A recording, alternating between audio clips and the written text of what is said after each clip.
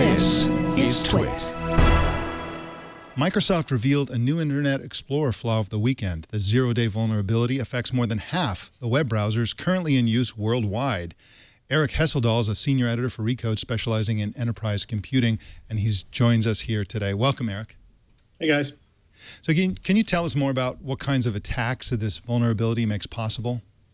Yeah, it's classic kind of a drive-by situation. Um, and when you say it affects more than half of the browsers, technically speaking, it affects about 56%, and that's Internet Explorer version 6 through 11, but most of the attacks are really taking place in uh, IE 9 through 11. So um, also, by the way, the interesting footnote: this is the first uh, first major uh, vulnerability that's going to affect uh, Windows XP that's no longer no longer supported by Microsoft. So there may be some interesting uh, interesting follow-ons to that. But but basically, it's a zero-day vulnerability, and uh, they're not quite sure how they're going to fix uh, fix it yet.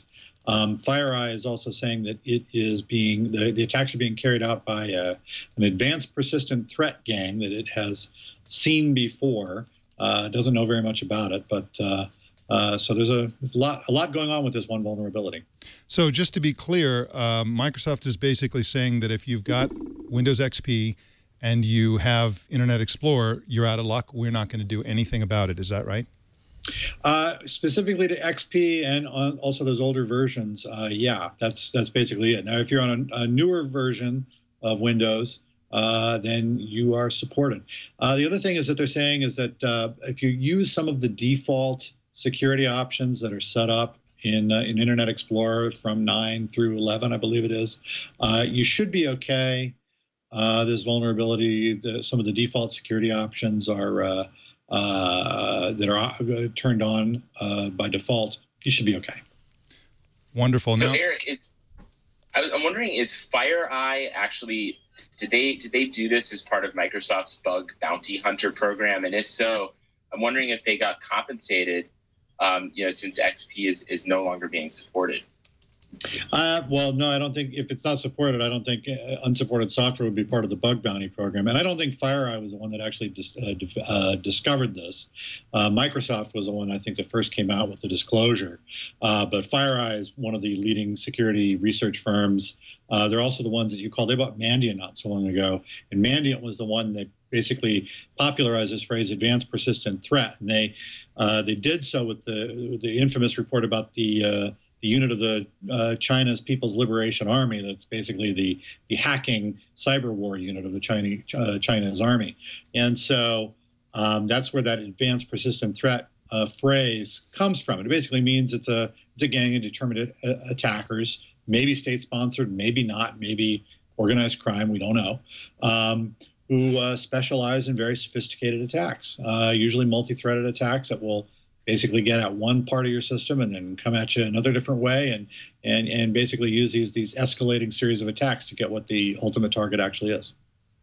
Now, Arik, this uh, the, the the attacks originate uh, or you know in Adobe Flash. Is that correct? And uh, isn't Flash implicated in a in just way too many security vulnerabilities these days?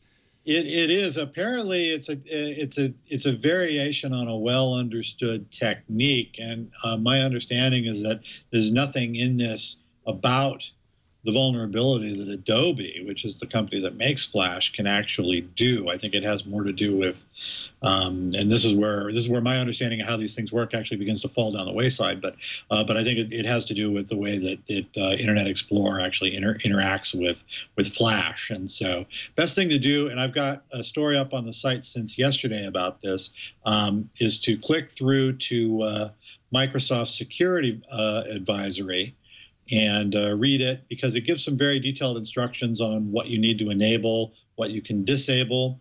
Um, also, there's a, a, FireEye has an interesting post up on it that I have a link to as well, and then one that I didn't get that came out later, um, which I may go back and add in. Uh, there's a, a, down to the uh, clicks uh, instructions from uh, Sophos Security on their Naked Security blog on uh, what you can do to to make yourself basically uh, resistant to this to this attack. Fantastic. Well, Arik Hesseldahl, I want to thank you for coming on Tech News today to explain this latest vulnerability. All right. Be well. Thank you. You can find Arik Hesseldahl at recode.net, of course, and also on Twitter at AHESS247.